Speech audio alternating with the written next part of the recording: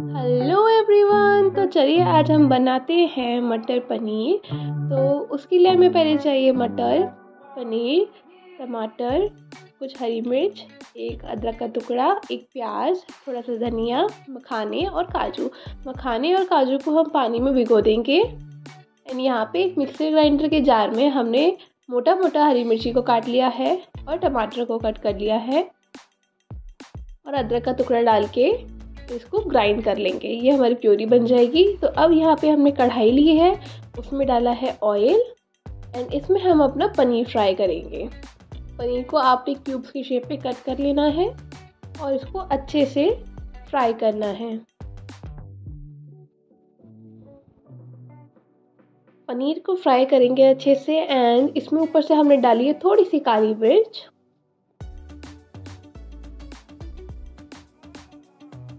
लाल मिर्च, हल्की सी हल्दी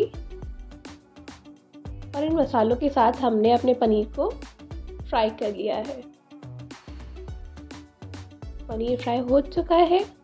चलिए अब इसको बाहर निकाल लेते हैं।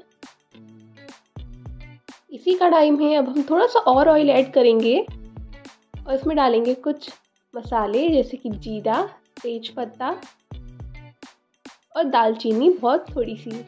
यहाँ हमने डाल दी है प्याज की प्योरे। हमने जो बड़ी प्याज ली थी, उसको भी कट करके उसकी प्योरी बनाई थी एंड इसको अच्छे से भूनेंगे।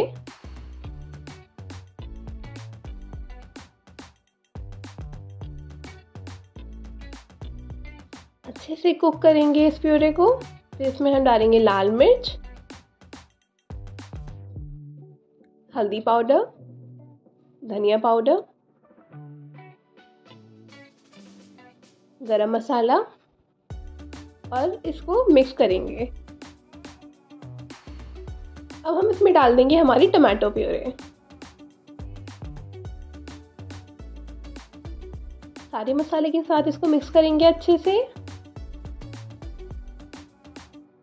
और इसको कुक होने देंगे। अब डाला है हमने थोड़ा सा कश्मीरी लाल मिर्च पाउडर हल्का सा नॉर्मल लाल मिर्च पाउडर मिर्ची पाउडर आप अपने अकॉर्डिंग कर सकते हैं, जैसा आपको कलर चाहिए या जैसा आपको स्पाइसी चाहिए। ये देखिए, हमारी प्योरी अच्छे से कुक हो रही है। अब हमने इसमें डाल दिया है नमक।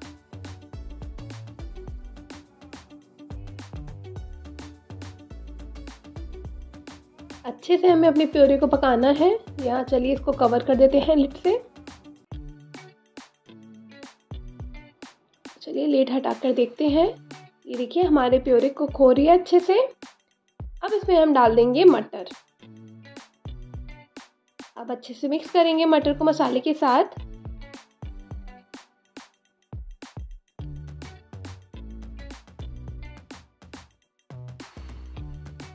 एंड इसको थोड़ी देर ढककर पकाएँगे ताकि मटर भी हमारी अच्छे से कुक हो जाए। ये देखिए, अब अच्छे से कुक हो चुका है।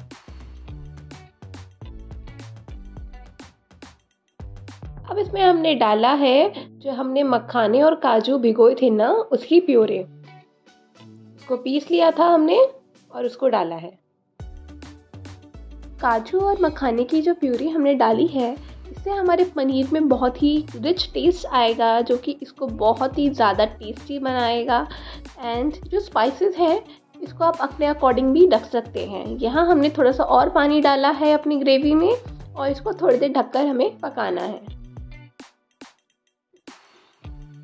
ये देखिए, हमारी ग्रेवी बहुत अच्छे से कुक हो चुकी है। अब इसमें हम डालेंगे पनीर और उसको ग्रेवी के साथ अच्छे से मिक्स करेंगे। ये पनीर की रेसिपी बहुत ही टेस्टी बनती है। आप लोग एक बार ज़रूर ट्राई कीजिएगा। आपके घर में बच्चे, बड़े सब बहुत ही मन से खाएँगे मटर पनीर। एंड मटर पनीर तो हेल्दी भी है साथ में। तो अब हम इसमें थोड़ा सा पानी ऐड करेंगे। पानी की क्वांटिटी भी आप अपने अकॉर्डिंग रख सकते हैं। आपको जितनी भी कंसिस्टेंसी चाहिए पनीर की, जैसा भी आपको पसंद हो घर में।